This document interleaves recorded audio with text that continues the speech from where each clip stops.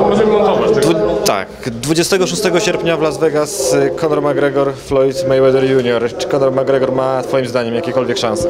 Kurczę, powiem szczerze, że jakoś mi to wisi, że tak powiem, naprawdę. Nie interesuje się tą walką kompletnie. Oczywiście obejrzę, bo to, bo to będzie tutaj miłe dla, nie wiem czego, jak śmiechu. Zobaczymy, co to, co to będzie, nie? No wszyscy się śmieją, wrzucają filmiki, jak McGregor tutaj wachluje, robi, nie potrafi tego pokazać, ale, no, ale jest cyrk, nie? Czyli generalnie ty nie traktujesz tego poważnie i nie dajesz mu jednocześnie szans, tak? Nie daję mu szans i nie traktuję. No wiadomo, wszystko tutaj robię dla pieniędzy, ogromna suma, sam bym wyszedł, naprawdę, kasa ogromna. Okej, My, może być tak, że w najbliższym czasie będzie więcej takich zestawień. Czy jak twoim moim zdaniem, jakikolwiek zawodnik MMA ma szansę z, z zawodowym pięściarzem z tego wysokiego poziomu?